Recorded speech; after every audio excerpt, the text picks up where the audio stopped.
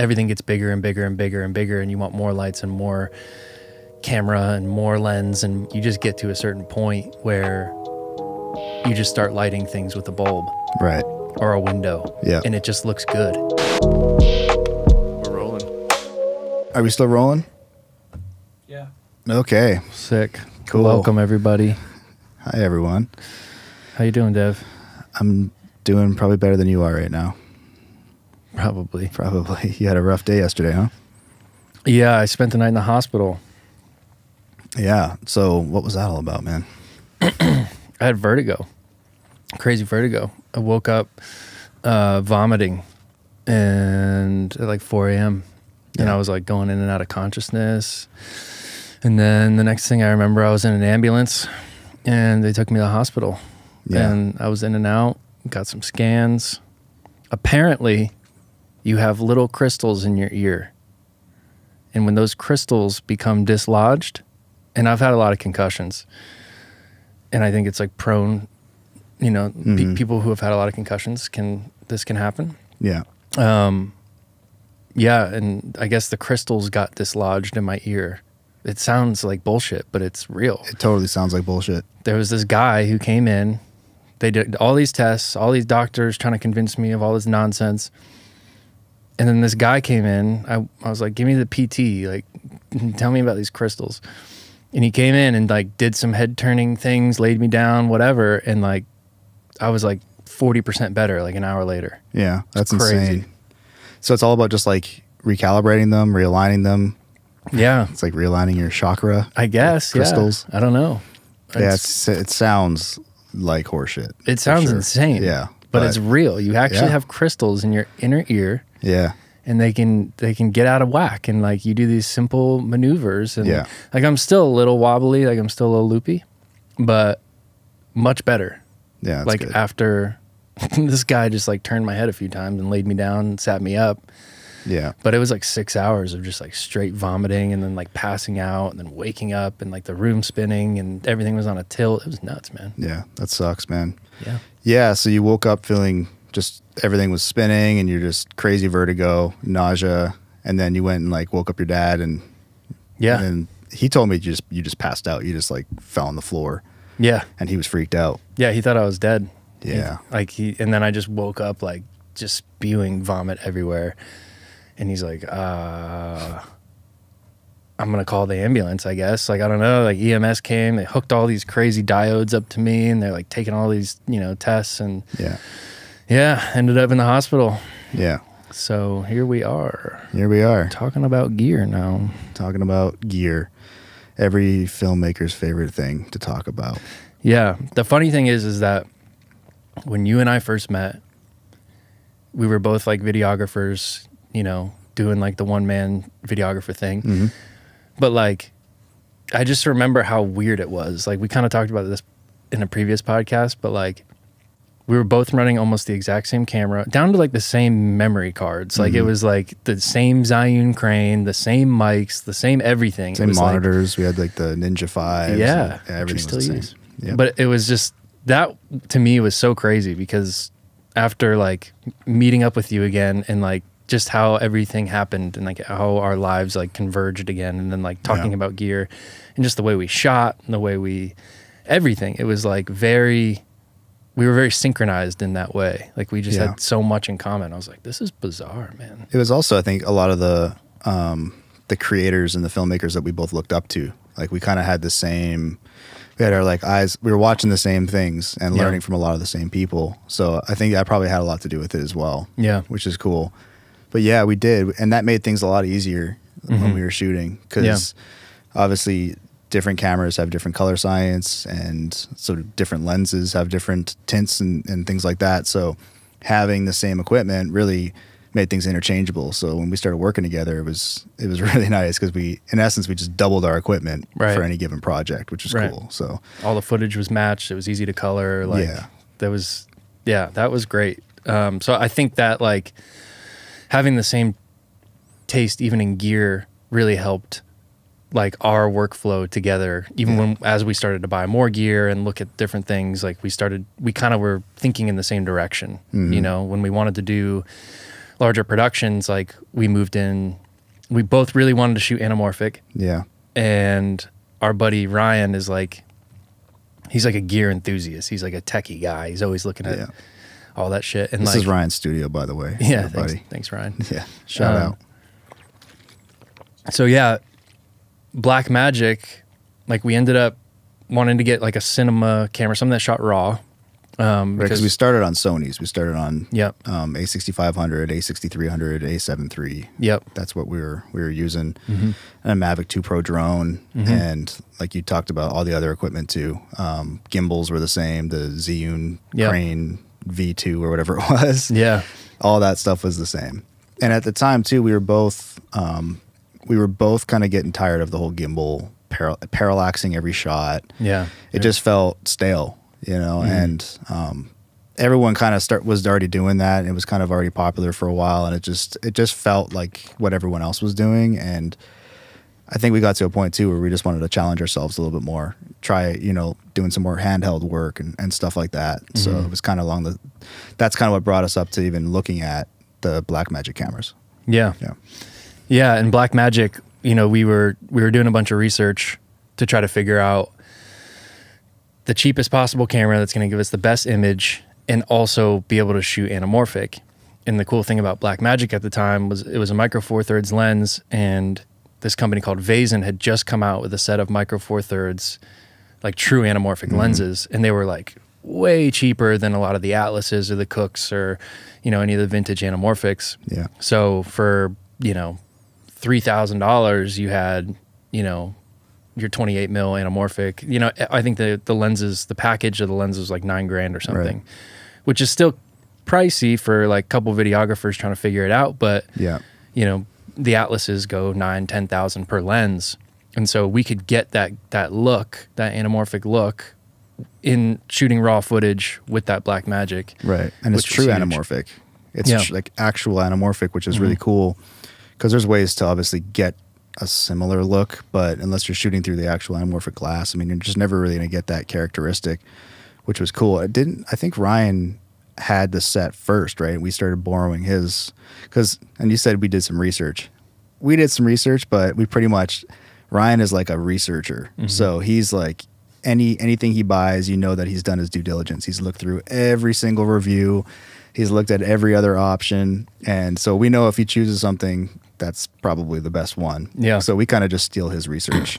Yeah, we did, and it worked great. Yeah. Um, and and it's funny, like when we were like videographers and stuff, like we knew the type of stuff we wanted to shoot, and there's like a there's like there's optics that go along with with your setup. You know what I mean? Like so we were like we need we want a big camera. We want something, you know, you're talking like V mounts and like a fully rigged kind of cinema camera, which for better or for worse does go a long way with clients. Yeah. Like everyone like they look at the camera and they you know, like oh shit, like this guy must be serious. Like yeah, it's the optics for sure. yeah. It does play a part, Right. And a little bit of vanity. You Yeah, like exactly. you want to be a real filmmaker with Exactly. a real cinema rig, but those things all there's a purpose for all of those things. There's a purpose for the size of a camera like that. Obviously, it's not just the body itself; it's everything that goes along with it. It's the monitor, like you said, it's the V mount battery, and everything that it takes to power your focus motor and all that stuff. So it,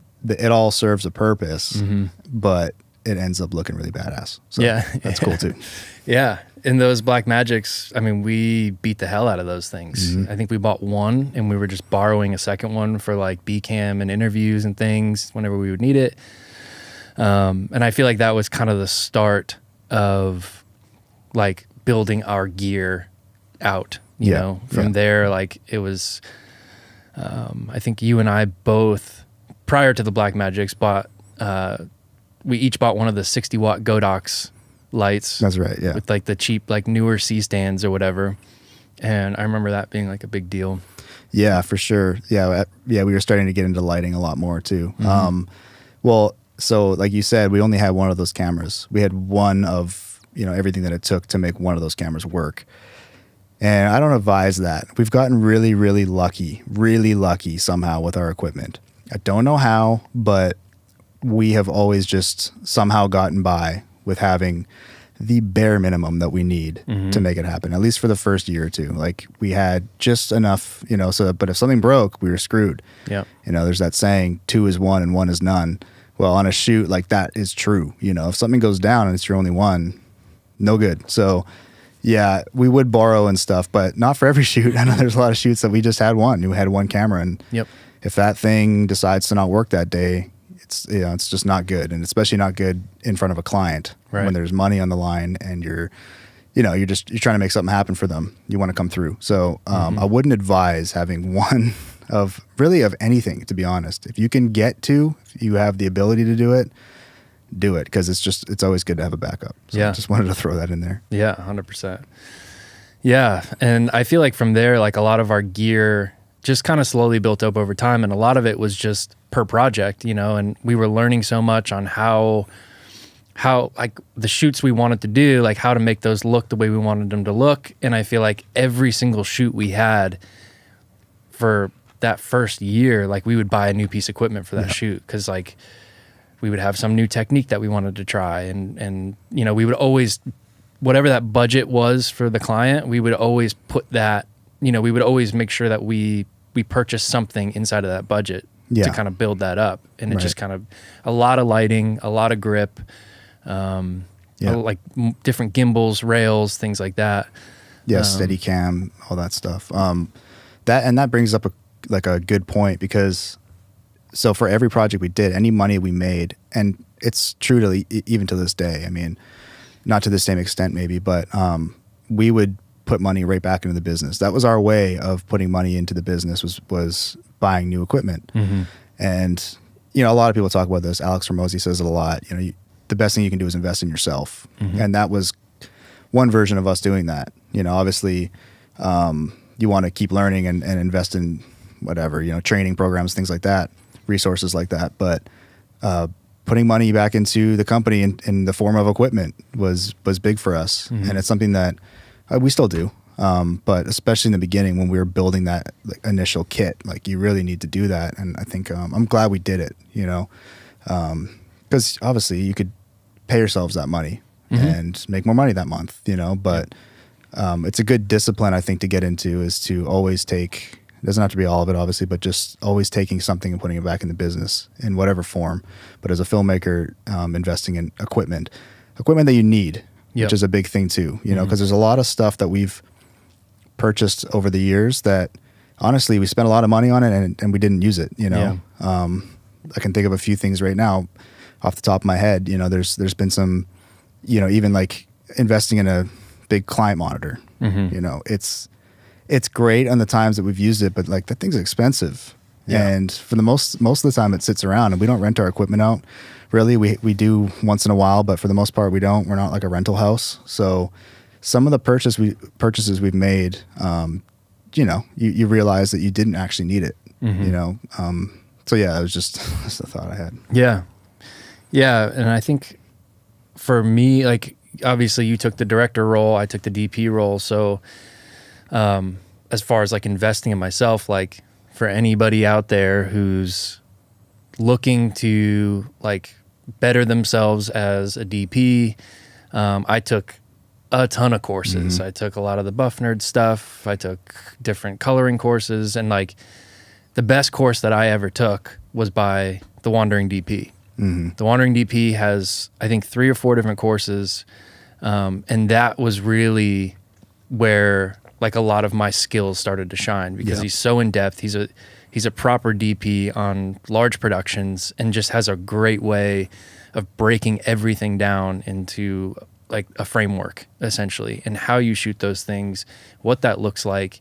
And it really like started getting me excited about like developing that look Yeah. you know on set and i feel like so every time i'd take his course i would learn so much and i'd be like okay well we need this and we need this and we need this and this is how we can make this look like this because we both knew what we wanted. Yeah, it was just figuring out how to make that happen you know and and starting to understand like a 60 watt led isn't going to cut it when you're competing against the sun or you're competing against you know whatever windows or things like that. Yeah. being able to properly light an interior and what does that look like? And and i think that was like his course uh, really helped me develop my skill as a DP and Mm-hmm. really understand like how to properly light some of these things and get granular with with developing a look. Right. You know what I mean? Yeah, and that's yeah, especially as a DP, but even as a director too. Like knowing, like you went, you took a deep dive into that stuff. I'm, I mean, I'm just typically not as interested in some of those technical aspects, and even like, to be honest, even equipment. I kind of just it got boring to me, um, especially just because I knew like, it cost a lot of money, and if there's something that we needed, you know, it's going to cost some money. So, but the cool thing about it was even just in us creatively talking about a project, you know, if one of us had an idea, or say if I had an idea and I didn't know how to achieve that, I'd be able to come to you and say like, hey, what if we did it this way? What if we, how do we get this look right here? And you had the tools, you know, based on that course and what you learned to say, well, we need this, this, and that.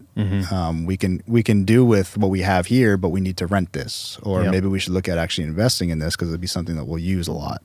So it's really good to be able to have that, just even for the creative process. Yeah. to be able to really talk through things and um, you know start to figure out what's going to allow us to get those looks that are in our heads. you Yeah. know, or those things if we've seen you know whatever on ShotDeck or something. Yep. Some inspiration that we have that we're trying to achieve or get close to it. You know, you have to you have to know how to get there, and that course I think really did that for you. I mean, Yeah. I saw a huge improvement, a huge change in just your overall knowledge base when it came to lighting Mm-hmm. through that. You know, like I could see it. It'd be like from shoot to shoot. It's like you're picking up a new tip or trick, and then we're able to go try it out, which is Mm-hmm. which is fun too because it's like you're you're experimenting on on shoots, and you're always trying to push it. You're always trying to do something a little bit cooler. You know, some change something about it. Do something that you're a little uncomfortable with, but maybe maybe you just learned it. You want to try it out.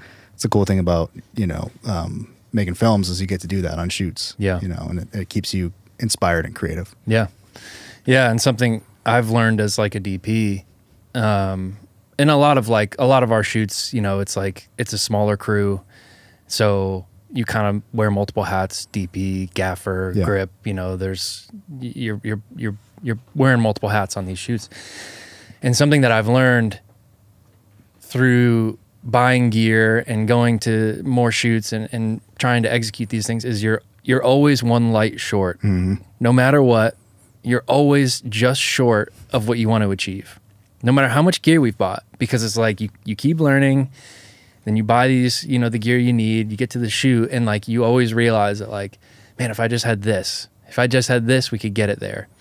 And that doesn't that seems to never end. Like you hear it from the the biggest DPs in in Hollywood is just like no matter what the budget is, like you never quite have what you want to fully achieve that thing. And Yeah. and that's what you know, that's that's the the nature of this this industry, right? It's like you do the best with what you have. It's like we started with two 60 watt LEDs and we were able to shoot the hell out of things with it Yeah, it didn't quite you know some windows had to be blown out at times and like we you know but you do the best with what you have yeah, and right now like our lighting package is i think we have uh we have the nova p300 we have still have a bunch of those Godox they're holding on by a thread yeah. We have Um, all of them still. yeah, Yeah, i one can't of them, believe it One of the the LEDs is cracked. It still works, but Yep. yeah, yeah, so we have those we have uh the Aputure 600 yeah. And we have uh the nanlite uh tubes Yeah. and I think that we have like some other small lights, like just little accessory lights for for small little things, details and stuff. But for the most part, those have gotten us through quite a bit. And then you can get into your fabrics and diffusions and how to use all of those. And, and we have different cloths, half grid and quarter grid and full grid, Yeah. eight buys and things like that. That definitely help. But it's like a lot of those things are great, but they're only as good as the knowledge you have to be able to use them. Right. You know what I mean? Like if you th- like if just going out and buying all that stuff, you know, understanding what a half grid's going to do versus a quarter grid versus a full grid versus a magic cloth, it's like those are all things that like you just develop over time. You know what I mean? And and even still today, it's like when we go to light something, it's like, oh, I know that we need this for this, but we don't have it, and we're just going to use a half grid instead, and it looks fine. But it's like it's just the the further you get into like having the experience of of understanding the minutia of lighting, Mm-hmm. you know, the better you can use those tools. Right, because it really is in those details. Yeah. it's in those small like percentage increases. You know that things really start to pop. Yeah. you know, it's just enough of those things they add up. Yeah. Um, yeah, I feel like, you know, there's another thing too. Obviously, in this industry, um, renting is a big thing. You Mhm. know, um, renting allows you to to scale up or down according to the project, right? So you don't have to necessarily front the cost of all the equipment and own the equipment and house the equipment and take care of it. You can rent, Mhm. you know. So that's so for especially larger productions, that standard is for um, you know for you to rent, Mhm. whether it's lighting or even camera bodies, lenses is a big one. Um, we kind of made a decision early on that we wanted to at least have enough equipment to get us through what might be like our typical shoot so that we could say yes to a project and be shooting it that day or the next day Mhm. you know so we didn't necessarily have to wait on rentals we do rent often um, for larger projects but we we knew we wanted to at least have our own kit that we could like i said just say yes to something and be able to do it the next day keep us flexible Mhm. um, so i think it's been really helpful and i think our even our current setup of course we could always use more and there's always you're always one light shy of what you need but i feel like we got a pretty good package right now where Yeah. you know we're able to kind of just show up to location and have the tools that we need um, to be able to get the job done Yeah. um, so let's talk a little bit about uh, camera and uh, let's talk actually a little bit more about um, stabilization Mhm. so when we started, like I said, we were using these really cheap uh, gimbals. Kind of got tired of the parallaxing on every shot and the the gimbal look because there's a certain look that it, that you get using uh, like a three axis gimbal. Mhm. So we decided to get it wasn't like an official Steadicam, but it was something like it. It was a Flycam, right? Yeah. So um, when we were looking into that, I mean, what was as DP camera op? What did you like about the uh, the fly rig, and what did you not like about it? Uh, well, there wasn't much that I loved about it, to be honest with you. Yeah, it's a pain in the ass. It sucked. That thing sucked. And it mostly because like a lot of those Steadicams, like a proper Steadicam, like you're looking at us like 10 grand to start, you know, like they're for a proper rig, you know. Um, and we ended up kind of cheaping out on Mhm. this Flycam, which is definitely made for like, you know, five to eight pound DSLRs. And at this point, I think our camera was like 16 pounds or something like that. Yeah.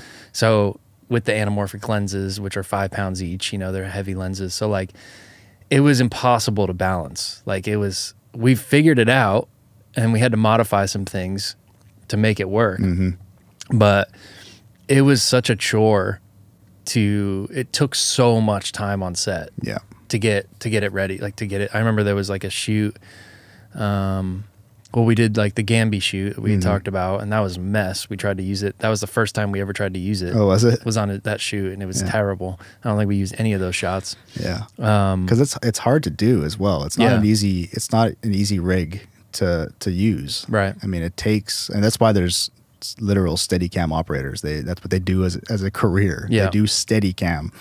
So it takes a long time to get good at it, yeah and especially if you're using some cheap one like the one that we had. Yeah. that, that had like the payload was too too heavy, and Yep. yeah. So yeah we the there was one shot this is right before i think we got rid of it um it was for img academy mhm. it was the golf it was a golf piece yep, and it was like the opening shot and we had had it all planned out where it like panned up from the grass Mm-hmm. Yeah, I and she it. was like putting her stuff down it panned around her Yeah. and then she you know drove the ball it was a nice little oner. yeah, yeah it was like a little one take that we wanted to do and we finally like at that point we had finally gotten it to work well enough but still like setting that up for that shot you know it took 40 minutes to get the Mhm. thing balanced and and then take after take after take you know it wasn't like a one take and we're done it's like choreographing everything and then the Steadicam would have a little wobble in it we'd have Yeah. to start over and yeah it wasn't a great piece of equipment Right. for what we had yeah sure. and so with, like with a steadicam the look that it gives you um, it's not like a clinical stabilization like what a gimbal would give you yeah it does have some flow Yep. so it does have a little bit of wobble in the horizon you know and obviously the the more talented you get with it the more practice you have with it you can kind of minimize some of that, but it does. It's not perfect. Yeah. and it's supposed to kind of more glide, Mhm. right? I guess that would be the best way of saying it. Yeah. gives you a nice glide, and it does allow for I think smoother pans and things like that, and, and even tilts too. Like you talked about that shot from starting at the grass and going up. Mm-hmm. So there's a certain look to it Yep. that I love. I mean, I still I really love when it's done well, and Mhm. and I think we've we've gotten pretty close on, on some shoots to where it was like, oh, Mhm. that looked that's what we were going for, you Yeah. know. But it is hard. It's Mhm. not it's not like an easy thing to do, and it's heavy and and takes time. Yeah. And yeah, on set, it's it it it was a huge time killer Mhm. for a lot of shoots, Yeah. and but I feel like I don't know. I think a lot of our gear selection wasn't necessarily for speedy shoots. It was Right. like, no, we're looking for a certain look, Mm-hmm. and we will sacrifice to get that look. Yep. You know, putting a honking anamorphic lens on a on a camera, and you know this this fly rig like that. These things are not. They're not meant for it just to be easy and get get the shot quickly. It's meant to get a certain aesthetic, a certain look, and a feel. Yeah. So, um, and that typically kind of goes into most of the equipment we buy. I mean, especially back then, it was like, what's going to look the best? What's going to be like the coolest? Give us the coolest vibe. Right. And it's usually a pain in the ass. Yeah, yeah, it usually is. And I feel like we've you kind of go through these cycles and like not that we've gotten here at all, but but I remember hearing like Roger Deakins talking one time and he's like, you know, you as a filmmaker, like you build everything gets bigger and bigger and bigger and bigger and you want more lights and more camera and more lens and all of this stuff and then he's like you just get to a certain point where you just start lighting things with a bulb Right. or a window. Yeah. And it just looks good. And Yep. it's like at some point, like you you've learned everything that you can learn. You know, someone like Roger Deakins has Mhm. been doing it for ages and is the best in the game. It's like he talks about certain shots and he's like, We tried a bunch of things and I walked away for ten minutes and I came back and I turned on the incandescent bulb and that's how we shot it. Yeah. You know, and, and it's like Or lit a candle. Exactly. just- yeah, lit it with the candlelight. Yeah, yeah, and it's uh, obviously there's wisdom in that. You For know sure, what I mean? yeah, there's for sure. times where you know they shoot Blade Runner, and you have to have you know 500 SkyPanels sitting over Yep. you know a, a studio set, but you know it's it's about like what how can you do the most with the least? Right. You know? Yeah, that's funny. You, br- you brought up uh, Roger Deakins too, because Scott and I were actually just talking about this. Um, there's kind of this ongoing beef. I don't know if it's it seems like more of a one-sided beef, but between Quentin Tarantino and Roger Deakins, it's the film versus digital debate that's been going on. Um, you know, obviously Quentin Tarantino he shoots everything on film. He tries, you know, he wants everything projected on film. He's just a purist in that way.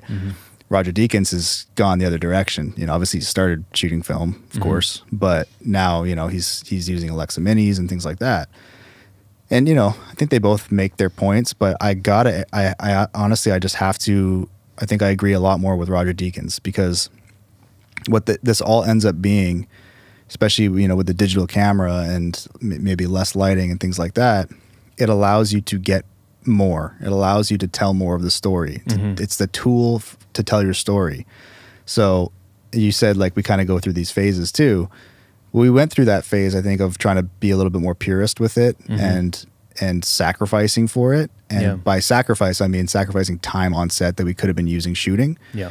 um, which I think is cool. And we got some cool stuff, but I'm honestly, you know, the pendulum for me has swung to where I'm like, the more we can get, the faster we can capture the magic, you know, and the more flexibility we have, I Mhm. think the better. Yeah. You know, I think I'm starting to become less of a purist. Obviously, you still want that look, and Yep. I get all that. Yep. You know, I still love all of that, but it's. I think you just go through enough shoots where you know you're like, man, we missed this, or we, you know, we, we weren't thinking creatively because we were thinking technically, and we were thinking about how to fix this issue Mhm. with, with, you know, with, whatever was broken. Yep. So yeah, it's just interesting because we were literally just talking about that, and yeah, I, I, I have to say I agree with Roger Deakins. You know, whatever allows you to tell the story and to to capture more of the magic on the day, I think Yeah. is the way to go. Yeah, and it's it's interesting. I was listening to something earlier. It was like, again, like everything goes through phases, right? Like I think lenses, even lenses, like have gotten faster and faster and faster. You know, to where you're shooting at a 1.2 or whatever, and everyone's looking for that crazy depth of field and uh, that narrow focus range or whatever. Um, and I was just listening to somebody talk about uh, 1917, Mm-hmm. and they're like, 1917 was shot on a 35 millimeter lens at 5.6. Mm-hmm. The entire time. Spherical too. Yeah, Yeah. at a five six. Yeah. You know, and like everything, everyone always wants to shoot wide open. Mm-hmm. It's like wide open, wide open, wide open. But it's like some of the biggest filmmakers out there, they're shooting at an f4 or an f5 or whatever. And it's like the whole movie is shot at an F five six. Yeah. Like that's crazy. You know, like that's, and that's the best in the game doing that. And I bet know? the production designer was really happy about that I'm because were. more of the set was seen. yeah. Yeah, I think there's something to that. It's like when you first start, you you're trying to get the thing that you've never been able to achieve. You're trying to capture the thing in the way you've never been able to do it before, which is usually like like you said that shallow depth of field and that nice bokeh, you know, it's like mm-hmm. it's all about that separation. And then you start to realize like, well, there is story to be told in the background. Mhm. You know, so sometimes you want to see those things. Yep. You know, so you don't necessarily have to shoot wide open all the time. Right. Um, it's a nice look. Mhm.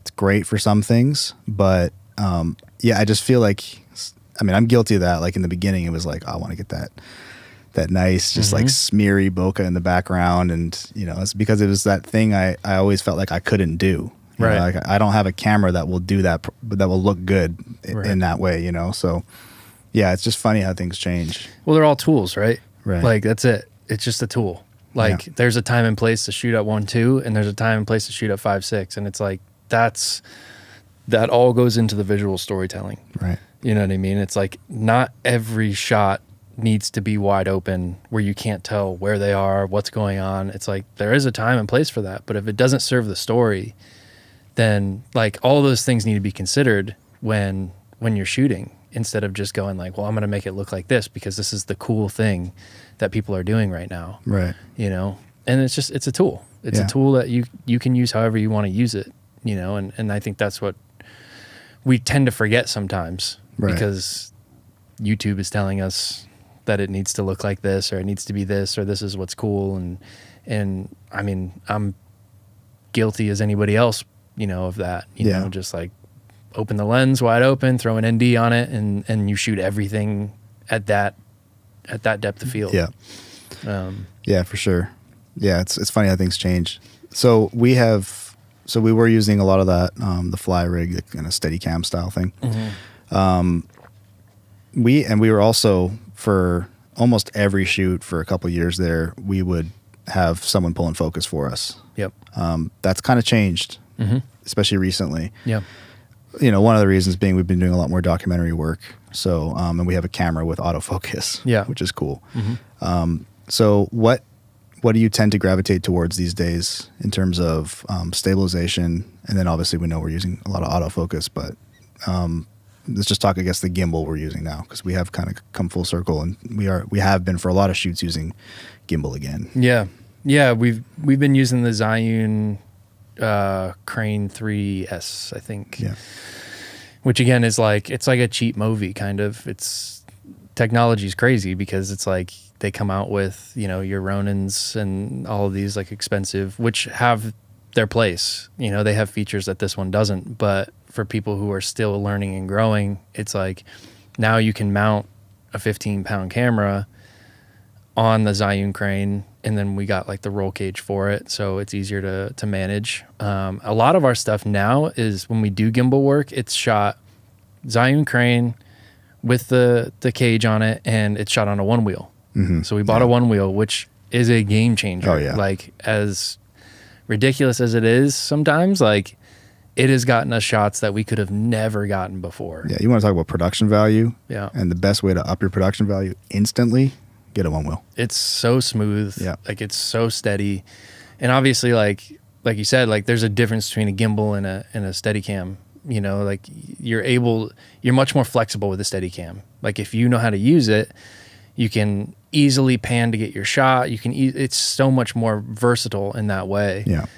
But that's why DPs, if they're camera opping for their handheld or crane, you know, uh, shots, they'll bring in that Steadicam operator for those shots specifically because it's not something that you can just jump onto. Right. Where like a gimbal is a little bit more flexible in that way. Still takes some work, but not nearly as much as as Steadicam. Like it's such a specialized piece of equipment that like is, is it's very specialized for for that type of operator to Right. be able to do that. Yeah, and it has its faults. I mean, we did a shoot recently that the gimbal gave us some issues. Yeah. And it took a good chunk of, of the day just trying to figure that out. Not of the day, but it took probably an hour, Yeah. um, all said and done throughout the day of Yeah. just wasted time, just trying to figure out this gimbal, um, the balancing on it. Yeah. And so, yeah, they all have their pros and cons for sure.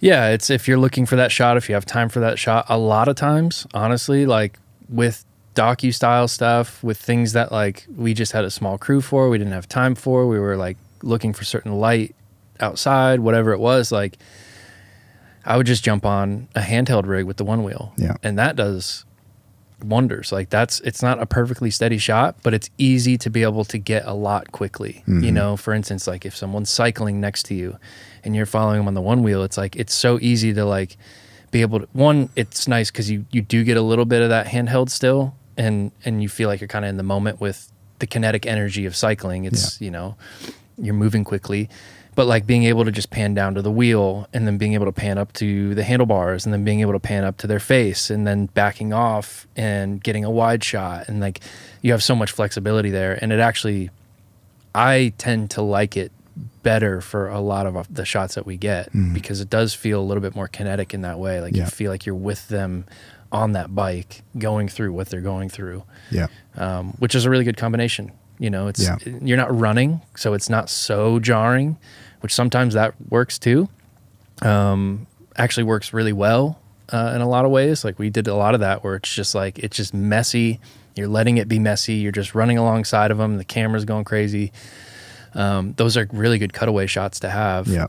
Um, but that Onewheel with the handheld uh, rig is, especially if like your lens has in body stabilization or the camera does, like that'll help too. But again, they're all tools to tell the story.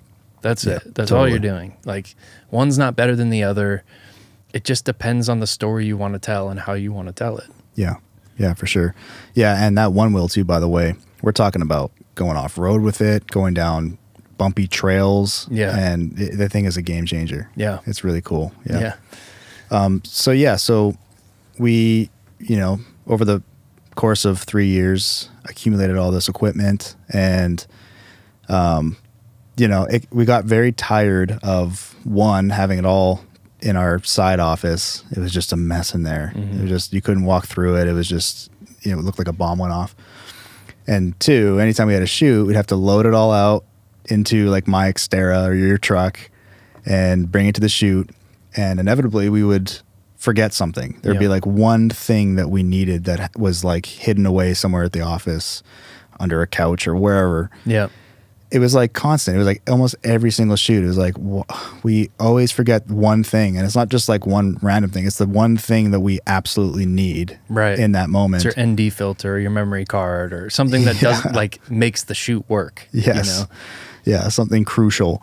And um and that happened, you know, going out of town as well. Yeah. You know, we'd forget there'd be one thing and you wouldn't be close to uh, you know, whatever, Best Buy or whatever. You can't Yeah. even get that stuff from Best Buy, but whatever. you wouldn't be close to anywhere that would sell that. Yeah.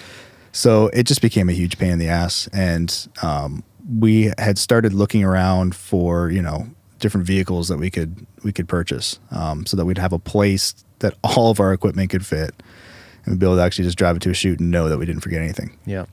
So we I think we started first looking at like sprinter vans maybe Mhm. um, just kind of build out like a grip truck Yep.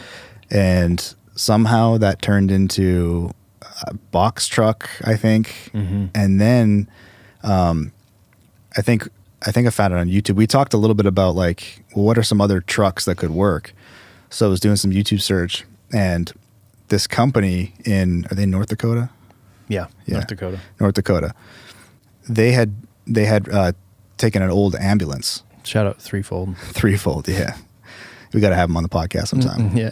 good guys um, they had done the, they had retrofitted an old ambulance and they made it into a grip truck Mm-hmm. and it's like it was the most badass thing i've ever seen it was like watching it it's like it literally it's like an ambulance is built for this Yeah. it's it's like meant for it you know once it's not saving lives Yeah. it's it, once it's decommissioned it's it's like it's meant for filmmakers so we were just like drooling over this this um, this video they had put out, which kind of like went viral, and you know people were like really stoked on it because it really hadn't been done. I hadn't seen it done before, and it was like, oh yeah, that's that's what we need to do. We need to, we need to find an ambulance. We need to do the same thing.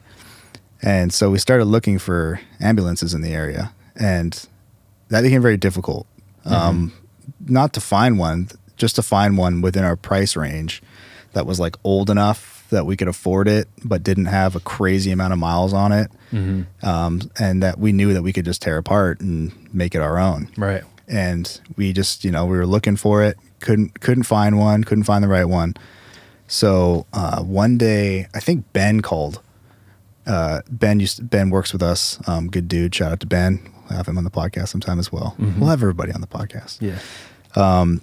Ben finds their number or something on their website, the, the company that that retrofitted the ambulance, and just calls them. It's just like, hey, and we just called them honestly just to kind of pick their brain. Like, hey, what would you do differently? Um, you know, we're looking at doing this. Like, what were some of the pros and cons? Like, do you still use it? Do you still like it? You know, should we do this? Honestly, just trying to get advice. And they were super cool, like super open and honest. Gave us a ton of really good pointers and advice. And uh, so we're like, cool, whatever. That was a call. Awesome. Kept our search going for an ambulance, and just kept hitting walls. And dur- in the mean during the meantime, it was like we were we kept looking at that one ambulance. We're like, this thing is this is the one. Like, Yeah. I wonder if they'll sell it to us. Well, the problem was like we, they bought the ambulance. They told us how much they bought it for, and since then, like overland vehicles had become such a big thing. You know, Yeah. people building out like their campers and things like that. So the price of these ambulances like shot up. right. So everything was so expensive. Like even these old shitty ambulances that like didn't even run. You know, they're more than what they paid for. Like, how did they get this deal? Right. Yeah, they were really hard to find. Yeah, Yeah. they were. They became this weird niche thing that like people were living in them and all that stuff. Yeah. But, um. So yeah, so eventually we're just like, well, what if we just reach out and see if they want to sell us theirs? And I remember we we called them like on a Monday, and they're like, they're really cool about it. Like, no, you know, I don't think we're ready to sell it. You know, it's it's, it's got. I don't know if they said it has sentimental value, but I could sense that it probably does have sentimental Sure. value to them. You know, it's like it was something really cool that they did. It was a unique idea, and I could I could understand if they didn't want to get rid of it. Yeah. Like, all right, cool. So the following Monday, we're like, let's let's uh, reach out to them again, Let's see if they've changed their mind. So we just started every week. We would like at that we weren't calling them every week, but we'd email them just like, hey, just wanted to check in, see if you changed your mind about it. Yeah. I think it was like a month after that first call that finally they're like, you know what, we're willing to sell it. We haven't been using it as much. We're going to. Uh, they had bought, I think, another truck. Yeah. they were using Truck and trailer. Right. So they were willing to part with it. And we were stoked. We're like, that's awesome. Let's do this. So um, they gave us a great price on it and we're super helpful. And now the problem of, all right, well, how are we going to get this thing? This thing's up in North Dakota. We're in Florida. Uh, and it's an ambulance that we've never driven. We don't, I mean, we trusted them in that the thing was drivable and, and all that, but Yeah. someone had to get it. Yeah. So Yeah. Morgan went and got so, it. Two days later, uh, I was on a flight to North Dakota. Uh, I flew up there, and this is in like November, Yeah. so it's cold as hell. It's freezing up in North Dakota. It's snowing, Yeah. and um, yeah, I just flew up there, met the guys. Uh, they gave me a walkthrough of how to drive it. You know, it had of all these like switches, power switches to turn on, and make sure you do this, make sure you don't do this. Kind of gave me the overview of all the compartments and everything that we might need to do. That you know they had taken great care of it. Like Mhm. it was in great shape. It was a '97, and like it was in great shape. Yeah. But they had like lifted it with ridge grapplers, and this thing was just like it was badass. Like Yeah. it was huge. But they were like, yeah, honestly, like when we thought about it, like over the last year, we've only put 100 miles on the thing, and as much as we love it, they were moving to more of like a studio kind of setup. They had just bought a studio, and they wanted to do a lot in there.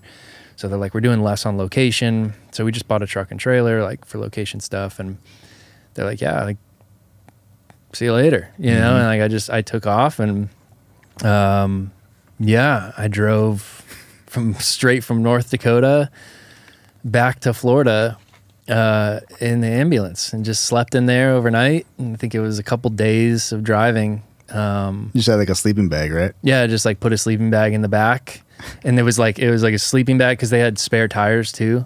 Oh, that's right. you remember? Yeah. yeah. So the spare tires were in there, so I'd like lay the spare tires out and sleep on the spare tires on the sleeping bag, and um, yeah, it was it was crazy because it's you know it's an ambulance, it's a lifted ambulance that you're Yeah. driving across the country, Yeah.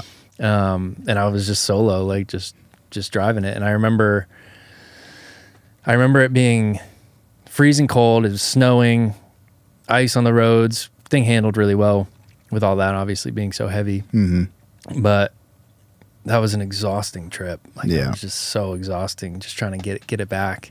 And we had a Yeah, we had like a film premiere that night. Yeah. The night you got back. yep, we had a, a documentary that we had shot that was that was uh, premiering, Yeah. and I literally drove straight to the premiere in the ambulance. I'll never forget it, man. Yeah, Seeing you pull up in that thing. It was awesome. yep, Yeah, the thing worked out great. Um, overall, like just back to what I was saying about forgetting things on shoots and having to load in, load out, all that stuff, man. It just it, our workflow improved immediately. It Yeah. was like we have everything we need, everything has a place, and you know, and it's all like they had done. They did a great job. We pretty much stuck to the plan, like the way that they had it set up. You know, even like where they kept certain things, it all made sense. Yeah. it was like, hey, we're just we're just gonna pretty much copy what they did yep, and you know take their logo off put ours on yep. and you know so it worked out really nice uh, it hasn't been perfect obviously Yep. nothing is uh, we pretty recently we we took a trip up to uh, the adirondacks in upstate new york and we decided to drive there because we got the ambulance of course let's put some miles on it and let's Mhm. drive up there so uh, we took the crew. It was th- I think it was three of us in the in the ambulance, and then it was uh, another car. We had a couple other people in there following us up, and it's a, it's a it's a haul. I mean, it's Mhm. I think it took us like twenty six hours. I think to get up there. It took us longer to get back. Yeah, So you and I just you know I drive twelve hours, then you drive twelve hours. Cool, that's the trip. Mhm. And did the same thing on the way back. hmm But on the way up, you know, the Adirondacks, there's, there's a lot of it's mountains. You know, it's it's very hilly. Yeah. the the truck got us up there. We were pretty much like I think we were maybe an hour away from where we were where we were going. yeah. We were in the city, right? Oh yeah, we were right outside that- New York City. Oh yeah. So before that, so this is Fourth of July weekend. Yeah, We somehow take some detour. I think someone someone wanted food or something. I don't remember exactly, but we ended up in in like Manhattan. I guess it was it would have been Brooklyn. Yeah. We were on the Brooklyn side. We were in Brooklyn during rush hour traffic on like the Friday of of Fourth of July weekend. Mhm. It was standstill traffic, and we're in this massive truck. And it's like, how did this happen? Like, how do we get? We're literally in the worst place you can be. We're trying to go upstate, and here we are Yeah. making this detour in Brooklyn. So that was fun. yeah, So after that, we once we figured out where we're going, um, once we get up into the mountains, now we're you know there's it's just a lot of hills. Um, it's probably three or three a.m., four a.m. maybe. It was it was late in the evening. I remember. yeah. Remember this? Yeah, yeah, yeah. But before that, the we had the transmission thing. Well, yeah, yeah, that's right. That was in like New Jersey or something, right? the, When the, tran- transmission thing. The happened? transmission started. So the little overdrive. I remember driving, and the little overdrive light was flicking, and I was Yeah. like, "Ah, "I've seen this before. That's not good. Yeah. it's not supposed to be flickering like that." So it was going. I think it started somewhere. Yeah, probably in, in Jersey or something, and it stayed like that. And as I was driving, the thing just it wasn't revving correctly. You know, it Yeah. was just like high rev all the time. It wouldn't gear down. Yeah. So I'm like, oh great, something's going on with this. And we're like, we still got some miles left, mm-hmm. and it's getting dark, and we're just like, all right, hopefully this thing gets us there. Yeah. Then it's like, I don't know. I think it was it was late at night. I don't know if it was two, three a.m., whatever it was. Yeah. And the Adirondacks is like upstate New York. Like Yeah. you're close to Canada. There's nothing around. No, the area we were into was pitch black, pitch black and steep hills, and we're we're driving this thing, and we were running out of gas. Like we had almost no gas in the tank, and there's not a gas station around. So we're looking, we're trying to find a gas station close by, and it's just like, all right, I don't know, I don't know. We found one eventually, got there, but it's the middle of the night, hmm and we pulled up, and it's just a ghost. Like there's nothing there. No one's. It's closed. So like we got out and like took a piss or whatever, and we're just like, I don't know if we're gonna make it, Yeah. but we got to try. I think you started driving at that point. Yeah. I was dead. I was Yeah. just so tired, man. I so I think I got in the back and just went to sleep. Yeah. I was like, all right, wake me up if you need anything. Let's hope, hopefully we get there. Yeah. Yeah. I think there was like 45 minutes left on the drive. And that thing was like the overdrive wasn't working. So it was super hilly. Every time you were going uphill, it was just like revving like crazy. So you're using more, gas. More gas. yeah, diesel. And then I would tr- basically, I'd get up the hill and I'd throw it in neutral and just like coast down the hill. yeah. And then back to, you know, and like do that on every single hill. But yeah, it was like so creepy because it's just, there's nobody around. There's no lights every gas station was dead closed wouldn't take a card try, kept trying kept trying and it was like clearly below the e Mhm. like like way below the e. And it's like it's like 4 a.m and the crazy part is is that i know it must have been like 2.30 maybe something like that. Yeah, because we we woke up the next morning and, started our shoot at like 3:30 a.m. yeah. So yeah, it would've been we like had to 2 be there. Yeah, yeah we had to be up and ready by 3.30 Yeah. to start this long hike yeah, to, to film this hike in the dark. And so like we're just like panicking. It's like if we don't if this thing runs it running out of gas is one thing, you know, it's like you go knock on someone's door Mm-hmm. the next day, whatever. But it's like we had a shoot. We were going straight from driving into that shoot. Yep. Like if we don't make it, we don't get it. And it was a huge part of the production. yeah. Like that that The moment it was the moment. It was like the the climax of the film that we needed to get. So we were going straight into that. We got ended up getting there. Like I just we got lucky. Uh, we just didn't run out of gas somehow. I That don't was, know dude, how. I was so confused when I woke up because I'm sleeping in the back of the truck, and all of a sudden you just, you know, like when you're sleeping in a vehicle and it stops, and that's what wakes you up. Yeah. because you've been driving for so long. It was that. All of a sudden, I'm like, how the hell did we make it here? Yeah. Like, how did that happen? like, there's no way. It was, it was, it was on E before I went to sleep. There's no way, and I knew how far away we were. Right. Like, this just doesn't make any sense. Mhm. Somehow it just worked out. Yep. because you didn't find gas. Nope, didn't find gas, and we ended up like sleeping for like 45 minutes, Yeah.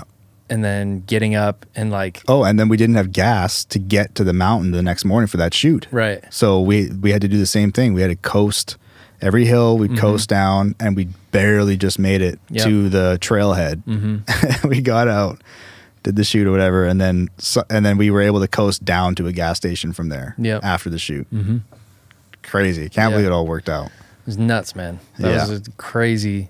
That was a that was the first experience of taking that thing out of state, like Yep. actually taking it on a trip. Well, and then on the way back, so the transmission is screwed up. It was still drivable, but it was just not efficient. we, we had to get a whole new transmission when we yeah, got back. yeah, we did. Yeah, yeah. Fast forward, we ended up replacing that transmission. Mhm. Um, but the AC also went out on the way back too. Yeah. and it was hot. It was July or whatever. Yeah. Um, and so the AC went out, so we had no AC. And the whole plan too is like, all right, so you know, you can only drive for so long. So we would each, like I said, we drive like half the day each. But the plan is when you're not driving, you're sleeping because we're Mhm. just exhausted from the shoot. But trying to sleep in the back there with no AC and getting down into like Georgia and stuff, oh, man, It was so that hot. sucks so bad. It was so hot. Yeah, But it was a good story. yeah, It's a hell of a story. And the truck has other than those things, I mean, obviously like you're gonna have problems with vehicles, whatever. yeah. It's an old vehicle, you know, and then we course. just immediately put like three thousand miles on it or whatever. But that truck has been like a game changer for us. You Yeah. know, it's got the cool thing about it is, is like like you said, it's it's basically outfitted for production. Like tons of compartments inside. Oddly enough, with like the five ten Pelican cases, there's like a compartment that perfectly fits three of them. Like it was made for it. It's so satisfying. I know. It's so satisfying putting those Pelican cases back in there. yeah. It's like just perfect. Yep. Yeah, it's it's got great. like all that stuff. It's got a big long uh like bench on the side and inside of that bench you can fit all your tripods and things like that. And then the best part about it is well it's got a it's got a DIT station. It's got like a, a station with like a like a desk and a chair back there. Yeah. Um but the best part's the outside compartments. Yes.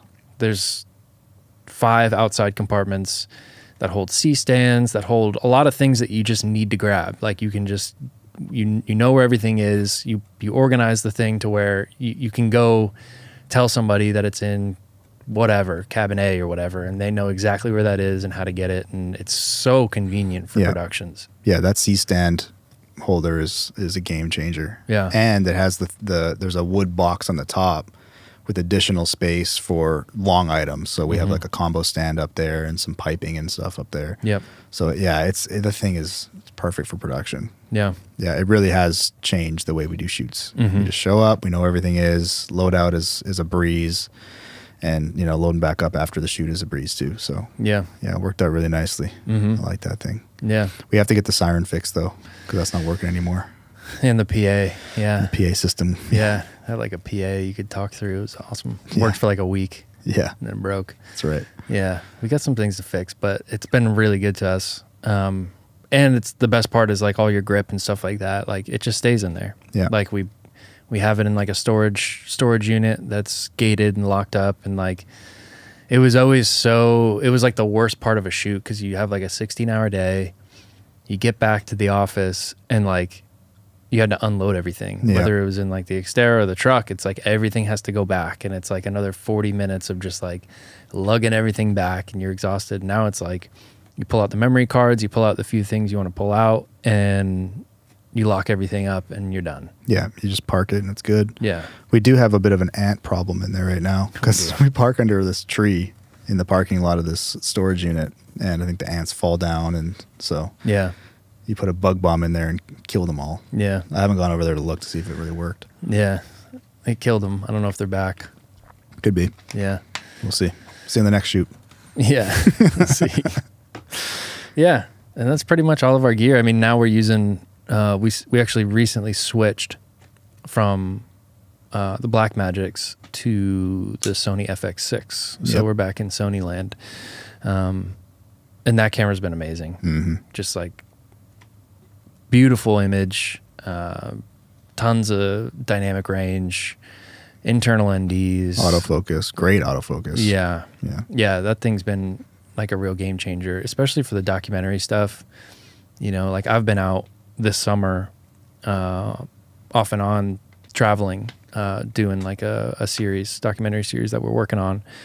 And it's just me solo. It's like a very run and gun thing. Um, super fun. It's kind of fun to go back to that, Yeah. you know, and just like shoot what's available, you know. Right. Um, but that that camera makes it so much easier, so much easier. Once like I kind of got the ha- hang of it, this is like kind of the first real shoot that I've really been able to get familiar with it. But now understanding how it shoots and understanding like where my exposures need to be, the ease of ND as things change as you move from interiors to exteriors, like that camera is amazing. Yeah. Yeah. and it looks great. Yeah, it's a solid little camera. Yeah. Yeah. Really happy with that thing. hmm Yeah, for sure. Is there any other gear we need to talk about? I think that pretty much covers it all. Yeah. Other than that, it's just like a bunch of C stands and Yeah. Boring stuff. dolly metal, just a Yeah. bunch of metal. Yeah. But that's really it. It's not much. Like it's not a ton. You know, it's a couple things that we really invested in.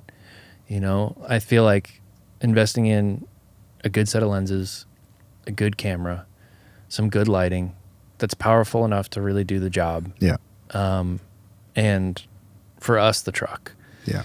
like that's really gotten us through everything and we still rent from time to time and you know the goal is to keep doing bigger productions that allow for you know bigger equipment to, Yeah. to continue to refine it but for what we're doing right now i feel like that serves us really really well like we kind of we've kind of put a halt on buying gear for the most part for now just because like yeah there's more things we could do and there's things that could be better and there's more lights we could get to to help the production but for what we have right now it's like it's such a good it's just like the basic utility of what we need Right. and then you can rent outside of that but like Yeah. you said if we need to do a shoot tomorrow like we're ready Mhm. everything's packed up if someone calls us and we need to be there in two hours then like we can be there Yeah. ready to go Yeah. and that's like a game changer for us Yeah, for sure.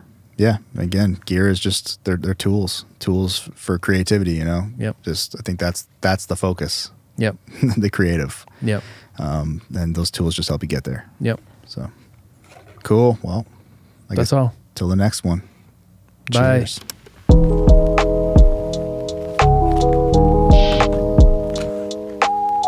How long was that one?